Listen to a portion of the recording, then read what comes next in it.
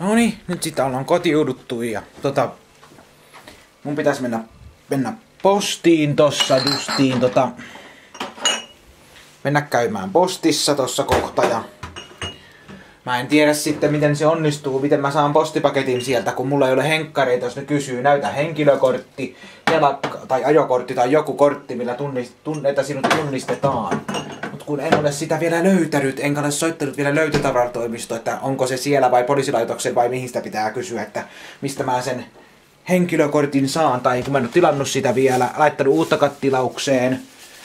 Ja tällaista, kun tuli puhelimeen, vaan tuli, ei tullut mitään postilappua vielä, mä en ole nähnyt, että onko tullut, mutta ainakin puhelimeen tullut viesti, että teille on paketti saapunut. Ja siinä on numero ja kaikki, että sillä koodilla saa haettua sitten paketin paketin postista, mutta, mutta, mutta kun ei, ei ole tota meikäläisellä nyt sitä henkilö, kuvallista henkilökorttia ei vielä ole löytynyt, niin en voi sitten tiedä, saanko minä sitä pakettia haettua postista. Ne sanoo, että ei me voida antaa sinulle, kun sinulle ei ole henkilö, et voi todistaa, millä todistat itseesi. Ja mulla on jossain mun vanhakin henkilökortti, mutta missä? Sitä sekin täytyy etsiä jostakin talteen. Kaivaa sekin talteen ja otetaan tästä vähän roskapusseja. Pitää pistää tonne, tänne pitää pistää roskapussi. Eli tonne pistetään roskapussi tonne.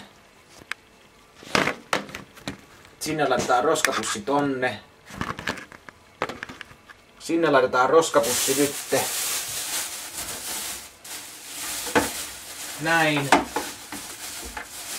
Ja nyt mä lähdin sinne kohta sinne postiin katsomaan, että jos mä saan sen sitten sen itselle sen kortin tai sen postin haettua sieltä ja tota, katsomaan, miten ne sanoo siellä postissa, että saanko sitä sitten, kun se on kännykkään tullut, se ei ole, ei ole edes faninumeroon tullut. Sitä mä oon ihmetellyt, kun se ei olisi fanipuhelimeen tullut, vaan mun omaan numeroon. Tämmöstä. Ulkona vaan tuulee. Nyt voi sanoa, että tuulee. Ja eikö, tuuli ole, eikö toi tuuli ole sitten pyöräilijän pahin vihollinen toi tuuli, että se on aika ilkeetä ajaa vastatuuleen fillarilla, kun tuulee, niin tällaista. Toivottavasti lauan viikonlopulle tulee hyvä sää. Kun, meen käy, meen, kun me meen, menen, kun sinne lauantaina meen kattoo niitä pyöräilyvaatetuksia, vähän pitkää housua ja takkia ja paitaa, niin niitä katsoo, jos saisi juomapullonkin pyörään ostettua samalla, niin jos ei paljon maksa. Ja tota, tossa mä justi jo tota, vähän sen alustavasti jo kyselin, miten tota, mitä se ää, v, VT meinaa juhannuksena, niin se meinaa mennä juhannuksena Särkänniemeeseen, kun silloin siellä ei ole paljon porukkaa, kun ihmiset on mökeillä, grillaamassa, juopottelemassa ja tällaista mökillä, niin silloin Särkänniemessä ei ole paljon väkeä, niin ei tarvii jonotella niihin laitteisiin, niin sen takia se aiko mennä sitten aikoo juhannuksena mennä Särkänniemeeseen, kun silloin ei tarvitse jonottaa, kun ihmiset on mökeillään ja grillaa ja juopottelee. Tällaista niin.